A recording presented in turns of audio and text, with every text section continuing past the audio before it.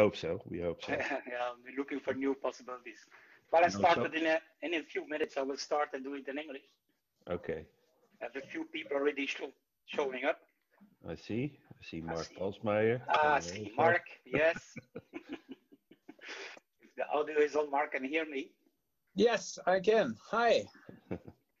Hello together. Hi. Hi. Yes. We will start in a few minutes. People showing up. Okay. Uh, we have a few signed up. Berend is there, I can see, and my brother-in-law was there. So some family members trying to see Gerald, trying to see Gerald on a distance. okay.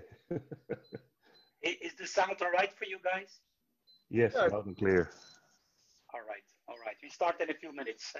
It's okay. not seven o'clock, so I try to be on a exact time schedule and to see how many people will join during the meeting uh, who were interested to join. So we okay. saw about 150 people reacted positively, but wow. finally to sign up at seven o'clock is maybe different. yes. Wait and see. Gerard, will it be good if we uh, close our cameras because then you have not so much files to send over the internet? So I think it will work better. Or yes, and I will start the meeting because if people have questions, what else you can write better, maybe a question than talking. It might okay. be otherwise it might interrupt the Zoom data on the internet. Uh, thank you, Mark. I think yeah. would be smart. Yes. Okay, okay. so so microphone and uh, video off. Yes, yes. Maybe that's the best thing. Unless you want to really say something, put your microphone on and you can come in between. But if 50 people do it, I'll do. I don't know how many will join today. okay. But we try it. We will try it. Thank you, Renee. Thank you. Okay. So I still have my microphone on. You can see, uh, can't see me, but you can hear me, right? I can hear you. Perfect. So then I. I can I, mute you if you want. I can mute you. No, I will do by myself. That's not a problem. I can. oh, I cannot mark mute. I can. I can imagine. He doesn't like that. oh, I think can. you can throw me out. okay, so far we have five participants. I'll wait a few more minutes. Huh? I see Bernd is there, Marcel, Renee, Mark. So I was expecting more people to join up, but we will see how it goes first. Dirk and Moritz will join us. Are they on the way? Uh, i am I'm home now. I just arrived home, so I don't know what they. But we we have talked about it, and we said, okay, we we have to yeah. see that. Yeah. All right. All right. Hey, hey, Mark, I can tell you at the end, I will uh, close the meeting. That I will host another meeting for America, USA, mm-hmm. Canada, and and uh, and South America. Mm-hmm. Because okay. I I will be in Brazil within a couple of weeks, and then I'm on the same timeline, so that would be more easier for me. Mm-hmm. Okay. Uh, uh, Lou, Lou, Lou and Leslie asked me to do that. Oh, great. So we will did, see. There was, yeah. Did Lou tell you about um, the new customer we have in, in America? No. No.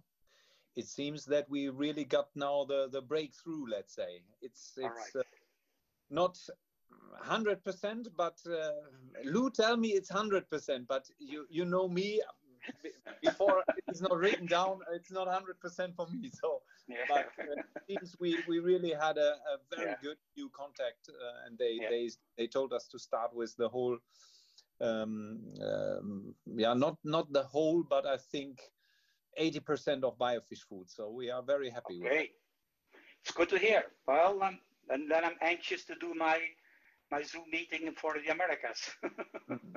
I will give you a call maybe tomorrow, then uh, we can discuss yeah. that. Yes, please, please. Uh, I will also need from Lou some ideas what mm-hmm. kind of direction we should go in the Zoom meeting because this is the first one, and I start within uh, within a few minutes. I will start, I think. Mm-hmm. For the guys who were on time, I prefer that the people who are on time are treated well. mm-hmm. So yeah, sometimes start. it's a little bit complicated with these Zoom meetings. I can tell you, we have this problem yeah. with the uh, um, the schooling of my kids. Okay. So and they have to make uh, Zoom meetings in the morning. And uh, yeah, one guy is is doing Teams, the other is doing Zoom, the other is uh, has to make a big blue button and all yeah, different. Yeah. And at the end, nothing is working. yeah, I, I, know, I know. I, I I was training the last two days. how to manage this thing here. And Bernd helped me a little bit yesterday to, to make the details working well. Well, we will start. But I will make a recording of it. So many people asked me, are you going to record it? So we can see it later on. Okay. okay. okay, well, then it's for those who are there. So there is, okay, there is uh, Dirk Moritz. Okay, nice to see Germany online. At Dirk Moritz, you can uh, uh, mute your microphone and and also the camera, so we have enough uh, data going well on the internet. Is that okay? I don't know if Dirk, okay, Dirk, I think now hearing me. Dirk Moritz. Hello. Hello. we, we just talking with Mark to, to take off the, the video and, uh, and muting the, the microphone to have enough data, not scrambling our conference. Is okay. that okay? Yes, of course. Okay, we'll start. Okay, th thank you all for uh, joining the meeting. Uh, let me get me here itself in here. Well, this is the first Zoom meeting for me, so I uh, will present some cases which were asked me to talk about uh, today on January 12th. Because it's the first one, I, uh, I might learn my lessons from this one, and your reactions uh, will be much appreciated after this first one. You, first, you see behind me, you see where I'm sitting. I'm sitting on a great spot. I'm sitting on the Amazon. Now, you guess, I wish it was true. This was a couple of years ago, this time of the year, enjoying a, a beautiful trip on the Amazon. Well, this is my screen behind you. Well, talking about fish health is talking about, well, explaining you that a medicine is a science of uncertainty and an art of probability. So all what we try to do in aquarium keeping is tell you is probability. We try. If we would have an exact science on fish, well, we need to use many more tools than we do these days. But anyway, I will do my best to give you a probability probability of the possibilities of fish diseases. So questions have been posed to me and more questions can be put forward by the people attending this meeting. And maybe best is to send a message in the chat box. Uh, there's a chat box uh, available, so you should be able to do that. And the first thing we're going to talk about is a question that was raised. I got very often this question is my water quality is perfect. I do all the testing I can. I have available, the pH is great, the hardness, ammonia, everything, but my fish are still getting sick. So why? So this is a quite a lot of questions coming up to me like this. And well, the thing you have to be aware about, if your fish is sick for the hobbyist, is you have to be a detective, a detective for your fish and your aquarium, your equipment and everything. And that means well, did you really check the parameters you test for? Because not all the parameters are, are can be tested. Maybe you only test five, but there are about 50 or 60 parameters you can test. You know, there's a probability that it might be a lead poisoning or iron poisoning or too much copper or anything else in, in the fish tank. I, when I worked in Chicago eh, in the, the 90s, sorry, in the 80s, talking about years ago, uh, in the 80s, uh, we have a lot of copper issues because the people are having in Chicago a lot of old piping system, piping system from copper, old copper piping. And that was a major problem of copper poisoning. But people were checking their ammonia and the pH, everything was perfect, but the fish was dying of copper poisoning. So be aware that you only test limited parameters for test kits in the aquarium hobby. The next thing when you have a sick fish is, well, you have to watch and to see the symptoms. That means look at the signs, look at the behavior. What do you see? And communicate that with your aquarium shop, with your people around you and the internet or the aquarium clubs you're on online. You share a video and ask them, please tell me what's going on. So show, share videos about this. Some symptoms are typical. Another thing I can mention to you is, is feeding fish food can, can be a problem because a lot of frozen or live fish foods have high loads of microbes and parasites. Several studies have been done on that. And, and you have to be aware that, that uh, fish food can be a risk. So that's one part of my studies I did a lot on the fish food. And another factor when your fish can become sick is because there can be a stress factor. A stress factor, what stress? Well, can be aggressivity between the fish, can be uh, other things like uh, the fish is lacking hiding place, or the children are tapping all day on the on the on the front of the aquarium. Stress factors. Uh, for example, uh, in the morning it's dark in the living room. You put up bright lights, and the fish are really stressed out by having a bright light. So, so be a detective for your fish in the aquarium, and then you can maybe find out what is wrong with your fish. But it's not easy. It's a lot of probability. So that was the first question. If anybody has, uh, well, the people attending here, we have seven participants, I see. If anybody has a question on this subject, you, if you want, you can put on your microphone and raise a question or on about the issue, or write it in the chat, please. You can do that. Well, another question uh, that was raised to me recently, very recently, is someone who used a good medication against gill flukes. And he used a higher dosage than recommended, but the fish were still sick. Well, there is a good explanation for that. Is that when you treat for certain diseases, like here against flukes, and here you see the amount of dosage you apply. And this is the, the, the, the how can I say, the, the time in minutes that the flukes were detached or death or dead. Black is detachment, and then the gray bar is that the flukes are dead.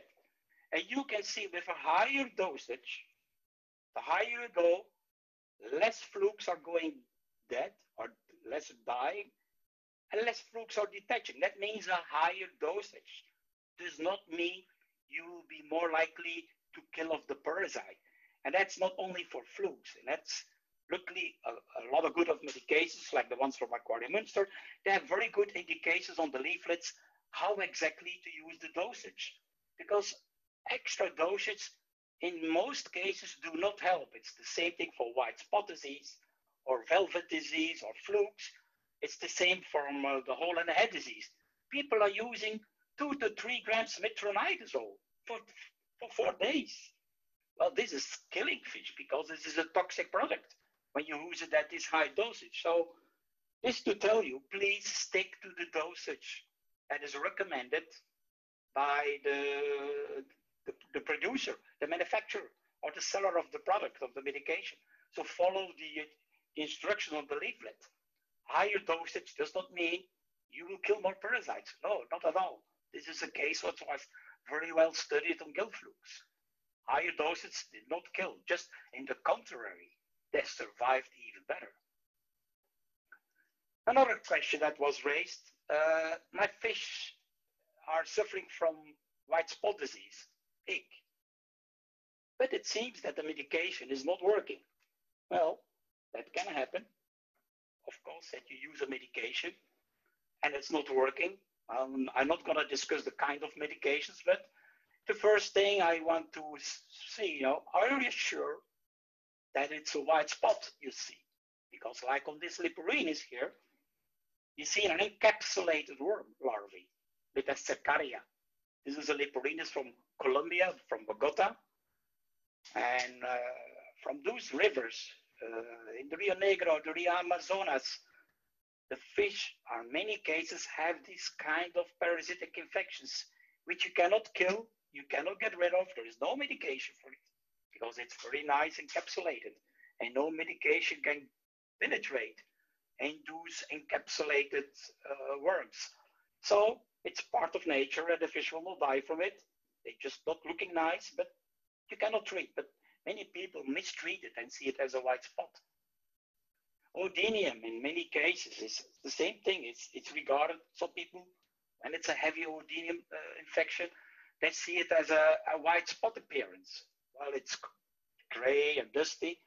Well, usually a, a skin scraping, if you have a microscope, can help you to identify. But so look, white spots are not always ick.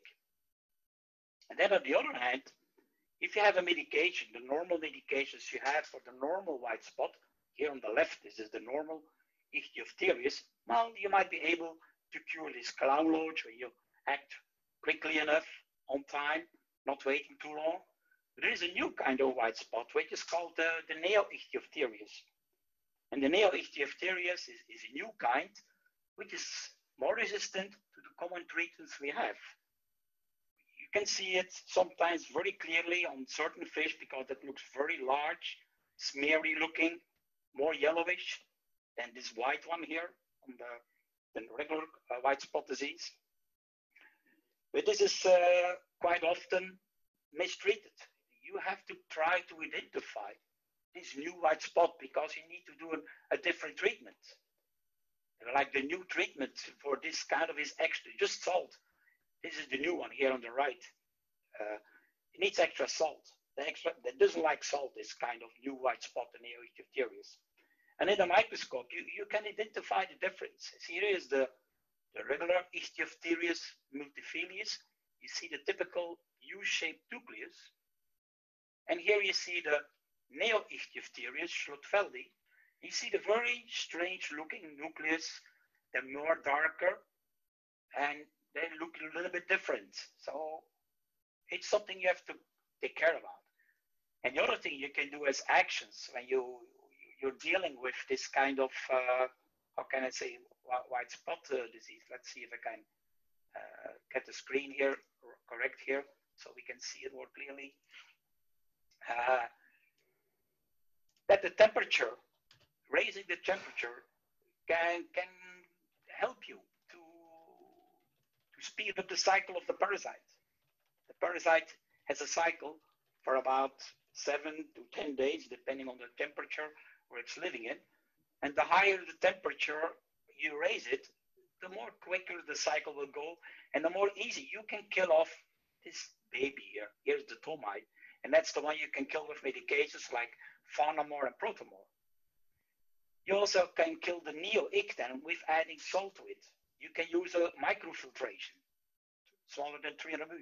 You can use a UV lamp, which kills the parasite, particularly for centralized systems, important. Siphoning off the bottom of the aquarium. That helps to get rid of the parasite. It's a physical action, leaving 24 hours the light on because the parasite only reproduces at night. So he falls on the bottom and remains there until the light goes off. Goes dark. So he leaves the light on. The parasites fall off and the light is on. You can siphon off from the bottom. So if you siphon off a couple of times a day, you can physically remove white spots and particularly in severe infections, you can uh, el eliminate. Uh, can, you can eliminate it. So, so let's see what I can see on my screen here. Okay, I see other people attending. Thank you for more attending here to the presentation. Okay, let's see here.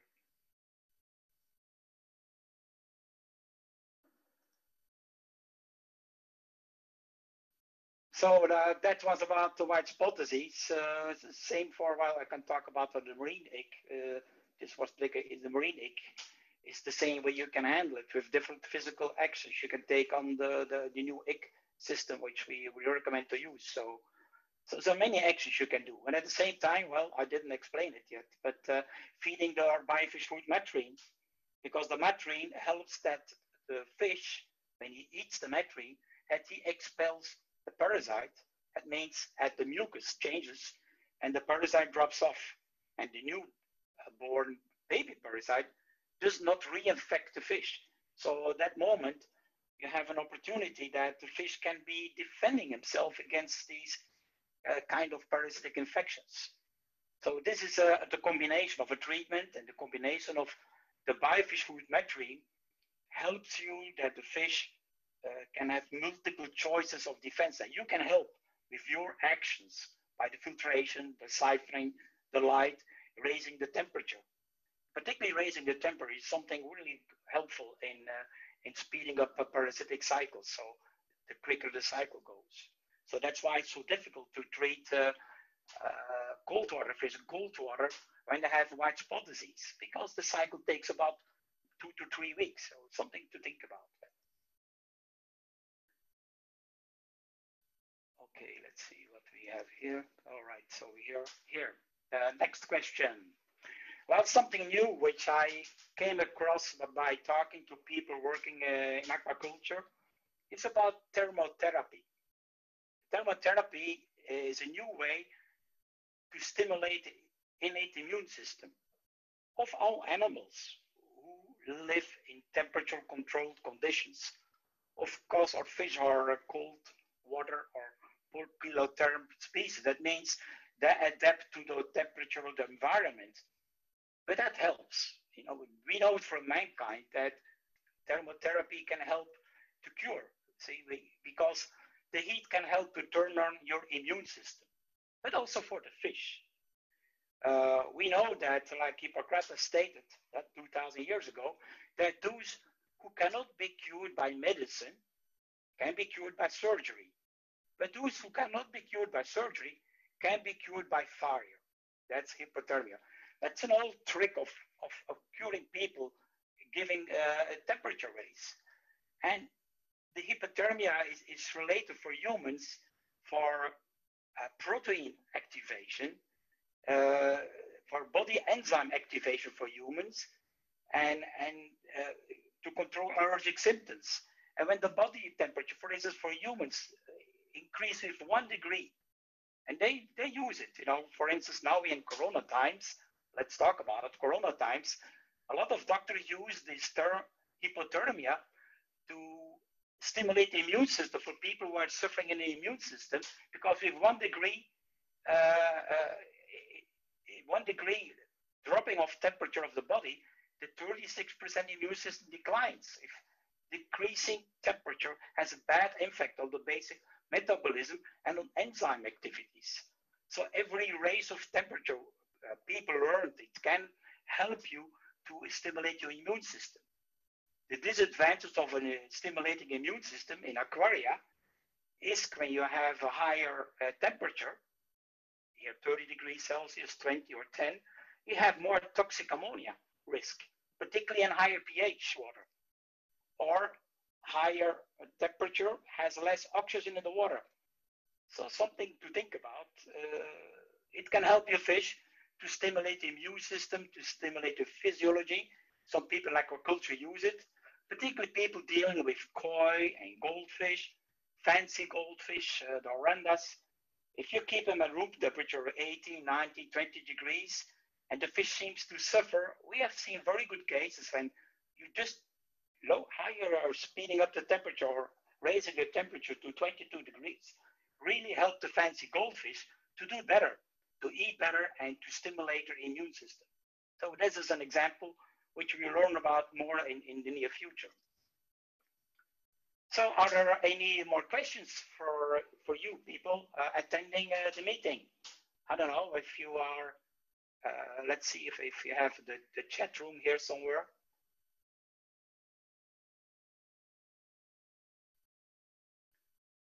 Okay, well, Renee, thank you for your question. What is the best doses for metronidazole? Well, I learned by, by people in aquaculture that the maximum dose you can use is 0.8 grams or 800 milligrams to 100 milliliter. If you go higher, if you go to one gram of metronidazole, you can have a risk of uh, poisoning your fish or having causing some pathological damage. It's overdosing. So the, you can go easily 0.6 to 0.8 grams by 100 liters for two days. So 0.6 is okay too. What do you say, Rene? Point, 0.6 is okay too if you go. Yes, 0.6. Yeah, yeah. Just the, the, yeah. yeah. It's it's usually 0.6 is about the average people use, but a lot of people use many more. And then yeah. they say, well, the spironucleus is not killed which is the parasite you want to kill. But I, uh, I tell you, we had many people having really bad problems. And not only the parasites were not killed, but they became also resistant. yeah, I've done so, it very wrong in the past. I don't know. This is something spread on, on the internet because uh, recently somebody called me and said, uh, "Now I used four grams." I say, "What?" Yeah, and the fish are still sick. Oh yes, well. yeah, you Google it and you get two grams per uh, per. Yeah, yeah. two grams. Yeah, four days treatment. and, and then and then use charcoal filtration. Why not changing the water, which is the best treatment? Change the water, get rid of all the, the shit in the water, and Yeah. refresh the water. Uh, well, well, this is the internet. Probably that's that's one of the problems they have to deal with. That uh, on social media, on the internet, uh, people share their their thoughts and information Yeah. to help to control fish, but it's sometimes uh, too bad. It's a problem. Okay, thank you. Thank you, Ray. Well, I see here a question uh, oh, for Eleni. Goedenavond, Eleni. I'm sorry, Eleni, it's in English tonight, but I will do it soon in Dutch for you, for you and your, your friends. Well, uh, what is a good medicine for flukes? Um, well, this depends if it's gill or skin flukes. Uh, this is a, a problem because a good medicine is depending on the history of the flukes if a fluke has been treated very often with uh, certain products like levamisole, mebendazole, uh, praziquantel, there seems to become a, a resistance. You know, currently uh, in, in, the experience I deal with people caring for their fish, uh, is praziquantel one of the best solutions. Unfortunately, it's not common uh, available anymore uh, by the, the common supplier of fish medications, and luckily Aquarimünster came out with a new one, which is the the the, the Bactimor Bactimor Plus, I guess. Yeah, that's the name of it. Which is a different kind of it's a kind of chemical that disinfects the fish and and, and kills the flukes in a certain way, on a gentle way. Uh, we would have preferred praziquantel to be staying on the market, but unfortunately, that that praziquantel is taken off by Europe that is not allowed to be spread without prescription. You still can get it uh, by prescription through the veterinarian. Yeah, yeah. Uh, it's Dactylmorph forte. Yeah, I'm sorry, sorry, Dirk. Oh yeah, I'm see, I'm getting older, getting getting slowly out of the industry. well, well, Eleni, well, you use Argomore. Well, uh, well, Argomore sometimes works because Argomore kills the skeleton of the fluke so uh, it might take longer to work. So uh, some people have good luck, some people don't. So that's why we recommend for the flus use the Dactylmor uh, Forte. that is better, and and that would I would recommend to use that instead of the Argomore. So that, that hopefully explains you uh, the difference uh, in, in the question you you brought forward. Is that okay?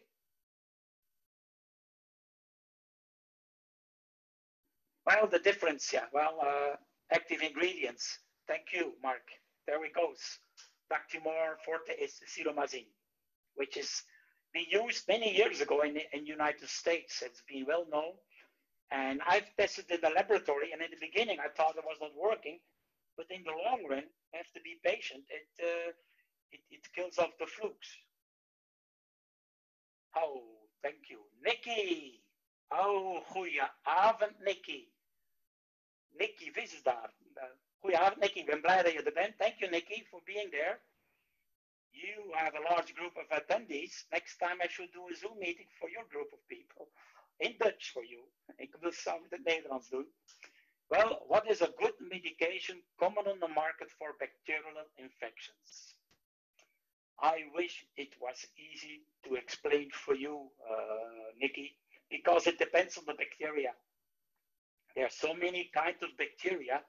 And if for humans, you know, if, we use uh, bacterial treatment for humans, we try first to send the sample to the laboratory to check what kind of bacteria do we have, uh, what kind of antibiotic is tested in the laboratory can work.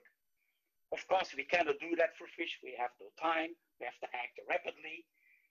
Uh, used to be antibiotics used to be the best. Slowly, we are changing our, our, uh, our opportunities to use a kind of uh, disinfectant. You know, we have uh, disinfectants on the market which cleans the fish from the bacteria. Maybe it's not so efficient, but it all depends on the moment when you start, uh, how can I say, uh, when you start treating the bacteria. You do it in the beginning, uh, you, you, you might have uh, very good success with the products from uh, Aquarium Munster. I'm just thinking on, on the name of it now. Uh, hey, Mark, Dirk, write me the name of uh, your antibacterial product which we, we tested for, uh, for Aquarium Munster, you know? Uh, like Bactopur is not always working uh, anymore. I know it's, it's Bactopur is, is a very simple, simple product, you know, it's uh, Virumor, that it is.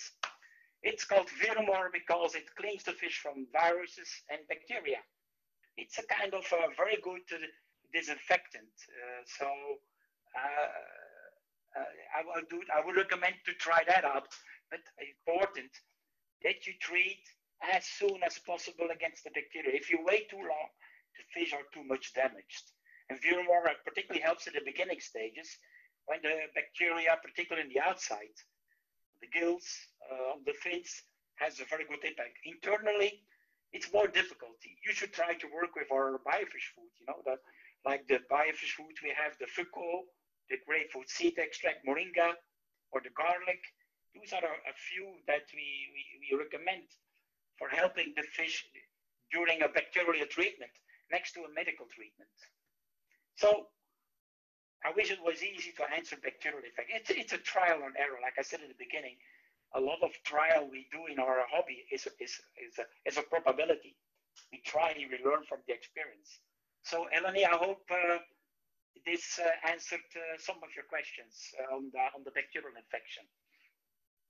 Well, on, on, the other hand, yes, something else, bacterial infection. Let the people check very well the, the water quality. Usually it happens that, uh, that the uh, the water quality is, is not correct by the people or they're food, feeding the wrong food, which is maybe kept in the, in the refrigerator for five days and is contaminated with bacteria or it's spoiled. So it's good to know the reasons why the fish get bacterial infections. So, so.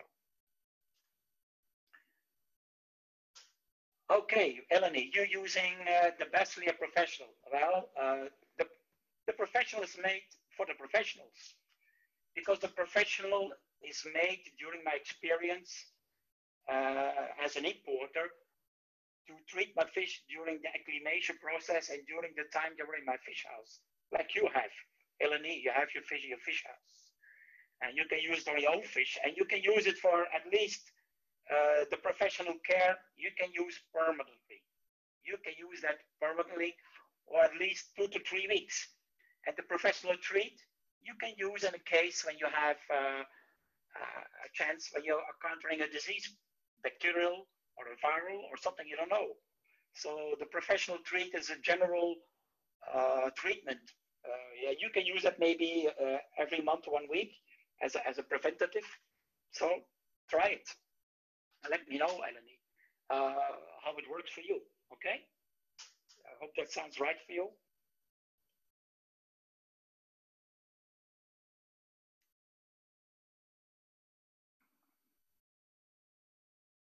Okay, thanks, Eleni. Okay. Well, I will see if there are more questions coming. We have uh, eight participants now, but uh, I, I hope I'm recording it here because people ask me. So well, uh, I will continue a little bit more on my on my presentation. Uh, then we'll see if more questions will come up. I hope I answered it all. Otherwise not, I will see what comes up later on. Um, well, always tell the people, you know, study in the books. I have several books available. Uh, go to my YouTube channel. Uh, people who want to get training, go to my new Patreon channel. You know, there's things that can help you. Uh, here are the links I can provide to you so you can uh, see them on my videos, which I explain a lot of fish diseases in four languages. So German, Dutch, English, and French. So not a, it's available. Many of our lectures are available in Brazil, but it's only available in Portuguese at the university in Natal for the training of the students. So uh, well, there's a training now I offer in my Patreon, so there's also opportunities for people who want to learn more. Well, the next uh, Zoom meeting uh, will plan uh, will be for the USA, Canada, and South America time. Uh, contact the US branch, Aquarium Munster. I will schedule a meeting with them and they will inform their American and Canadian customers and I will inform when people to Facebook. So this is the next to come, probably within a couple of weeks. Something else I can continue to talk about, we have uh, another half an hour left, unless more questions come up, is about uh, the cause and prevention of uh, fish diseases. You know, if if you want to teach to become a, fish detective, is learn to investigate for the causes of the problems of your fish before you start medicating. People who know me and see my presentations, they know I'm very keen on telling you, look on the reasons why your fish are getting sick. Don't go looking where your puppy is lost if you didn't check properly. Well, the lady found it out too late for me. But the summary of cause of prevention, you know, is, is, is that uh, I will talk about shortly, is there's certain causes. Water quality is one of the most important to test.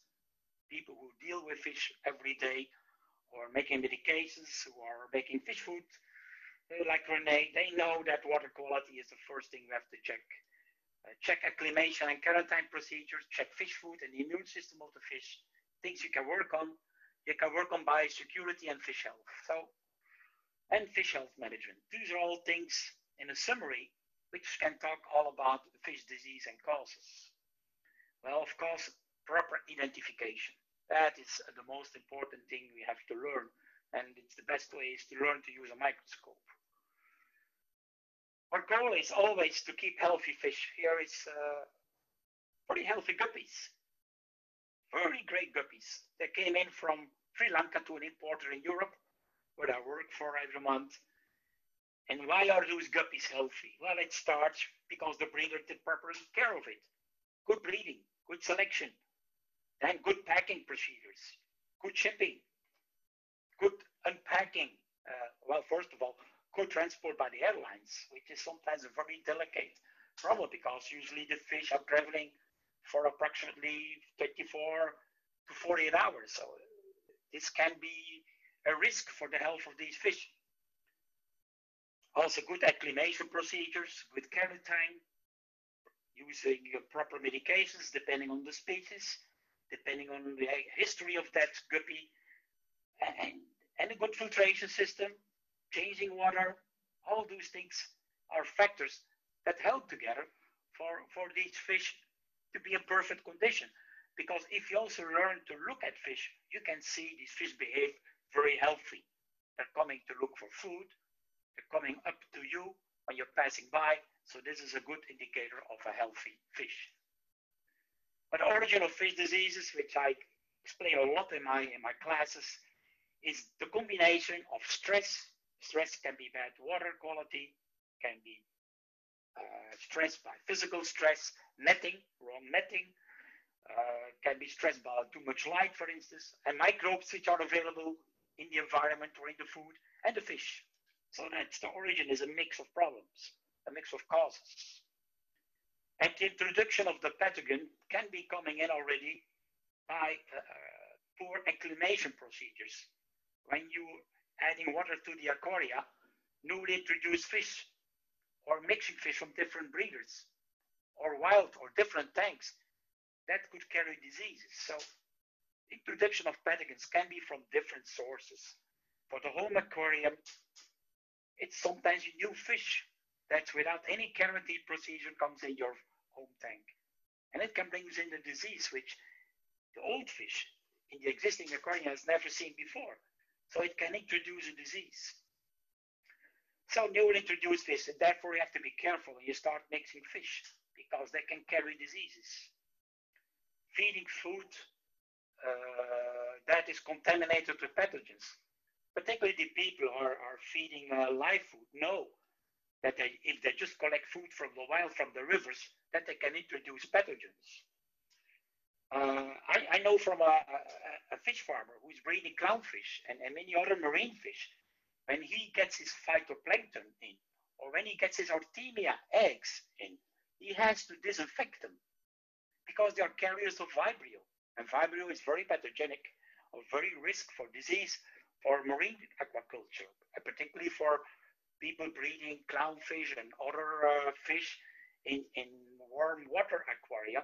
So even the Artemia eggs coming out of the cans were carrying Vibrio. So he had to disinfect the Artemia eggs before he could give it uh, to his clownfish. So this food can be a risk.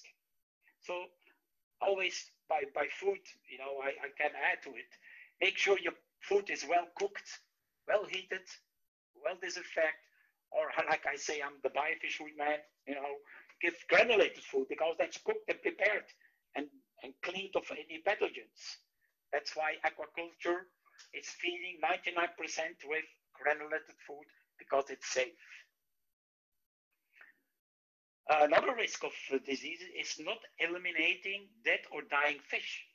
You should know when a fish is dying in an aquarium that before he dies, that all the pathogens, particularly the parasites, escape from the dying fish and it goes looking for new hosts. And that's his friends, his brothers and sisters in the aquarium. That's his, he's gonna be attacked by the leftover parasites from the dying fish. And a dead fish should be eliminated because even also dead fish is eating by its counterparts. And when it's eating, the fish can also eat the pathogens, the bacteria, particularly mycobacterium. There's a risk of spreading like this. Another risk of uh, introduction of pathogens, introduction of contaminated water. I've known cases by marine fish wholesalers who were collecting the marine water from the ocean, bringing in diseases because they were not disinfecting the water properly. Now everybody knows they have to use UV or other sterilization techniques to get rid of possible microbes or uh, parasites in, in the contaminated water. I've seen it at ponds who are getting the water from rivers because it's cheap. I've seen it in China where a lot of diseases came into the ponds. I've seen it in Brazil because it's cheap to get water from the rivers, but it's bringing in also parasites or the risk of parasites or bacteria. So all things to watch and to be careful. So this is all a lack of biosecurity because all this can be prevented if you follow biosecure rules. Another problem I would like to discuss is that so many people have problems with their aquaria for two main reasons. Dirty filters, poorly maintained dirty filters which do not work properly. Don't tell me these are bacteria. Because this pet shop who showed me this tank, he told me, oh, I cannot remove this dirty thing here because these are all my good bacteria. I told him, there is no living bacteria. Living is that dirt. This is just leftovers should be eliminated because this sponge is polluted with dirt. And where there is dirt that cannot be eaten by the bacteria, there is no bacteria living. So you have to clean the sponge and get rid of the problem. The reason was here in this pet shop because he had dying fish. As soon as he had 50 guppies in this fish tank, he was losing 10 guppies in the next 24 hours. You only could keep 30 or 40 guppies in the tank. 50 was too much because the filter was not working properly. It was too dirty. You have to clean the filter properly it's washing it out regularly and best to do it with tank water. Maintenance is very important. Here, another fish tank in another pet shop, I was giving advice. This was a big tank with a very tiny small filter. Well, it's the same thing as a big truck running with a small engine from a small sea, from a small motorcycle. How can an engine work well from a a big truck with an engine from a motorcycle. Well, this is an aquarium with a very tiny pump filtration. You only can keep very few fish. Abuse people are introducing too many fish, and these kind of aquaria have problems. The fish die. The other fish will do maybe well, but they can be getting a risk of bacterial infections, for example, because the water is not properly filtered. So if you have problems, if you have a shop or you have people talking about the problems, ask him about the filter. Is it cleaned properly or is it big enough? I always recommend everybody install a filter as big as you can. It's the best investment you can make. It's in a good filtration.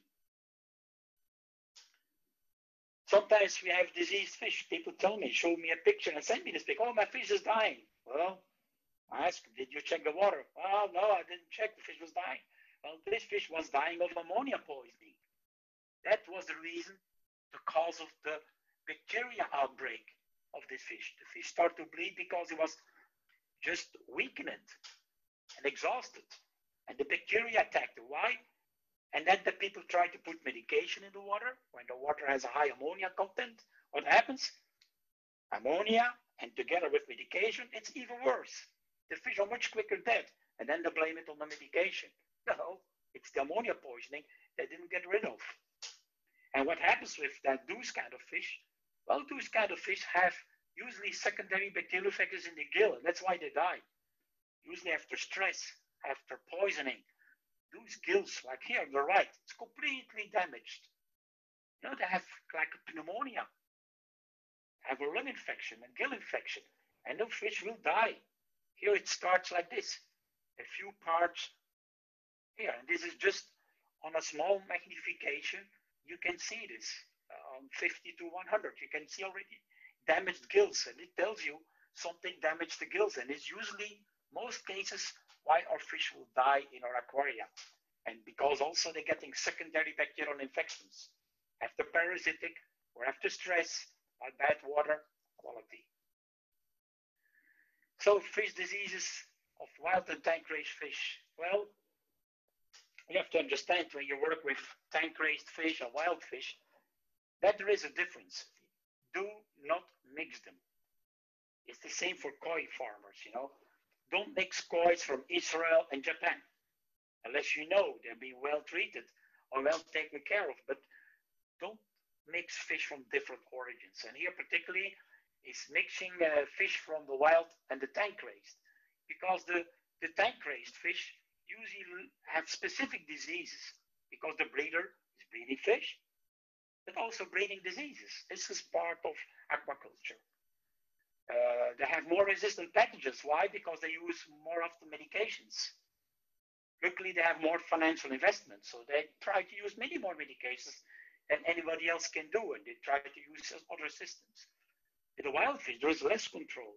There are more different diseases, and there's less resistant pathogens.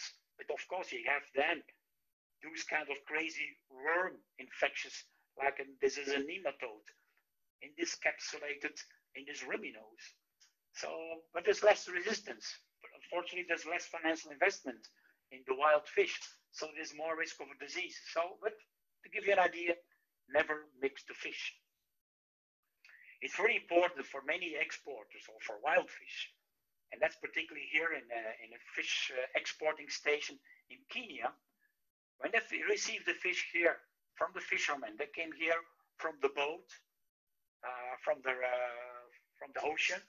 And here is the quarantine station, and here is uh, the biologist, the fish doctor, who is giving the, the fish a proper disinfection treatment with methylene blue, fresh water dips, and everything.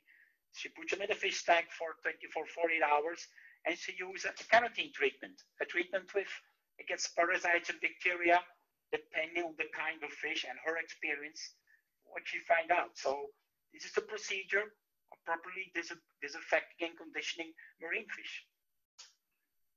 Another thing is food fight is cruelty.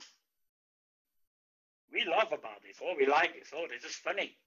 The child is playing games with the dog. No, they're fighting for the food.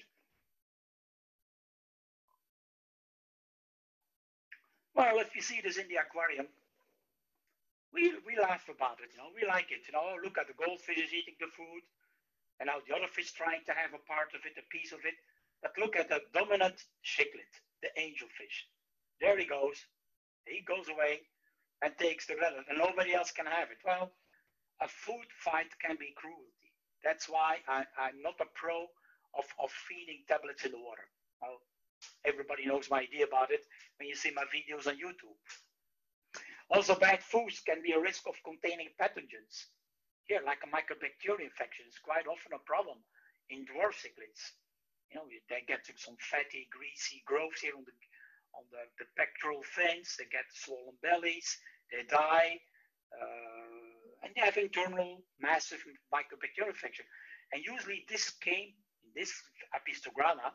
This came particularly from feeding mosquito larvae, because most of the mosquito larvae, which are not properly taken care of, contain mycobacterium uh, bacteria, mycobacteria, a risk of fish tuberculosis.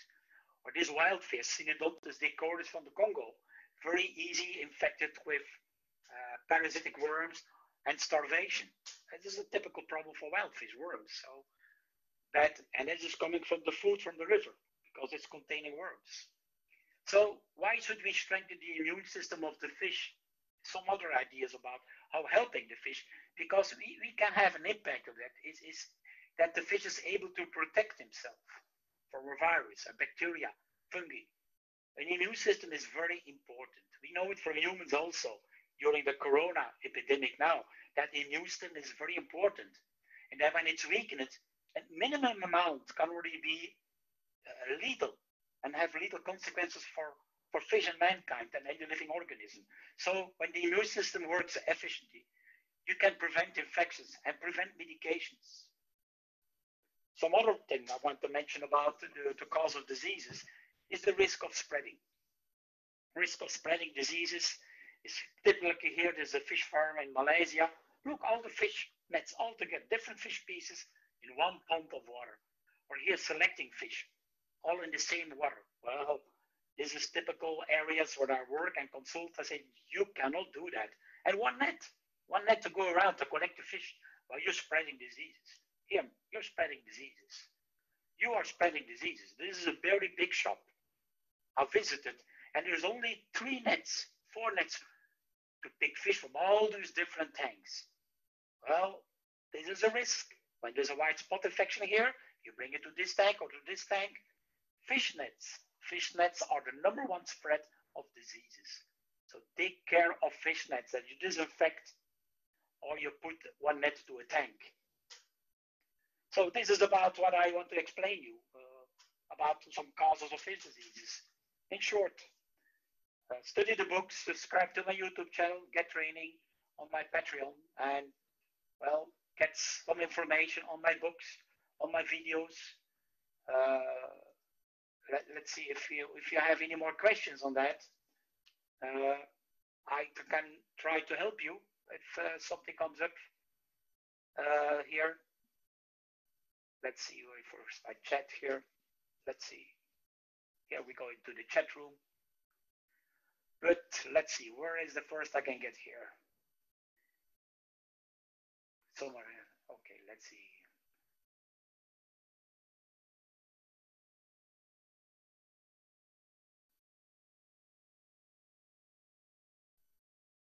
Can the filter be too big? Has that any kind of bad influence on the tank? No. A filter can never be too big. Nikki, very good question. The only thing that can be too big is the water flow. Is the water flow? I have very beautiful videos on that. If you want that uh, for your customers, Nikki, I have very beautiful videos where fish getting sick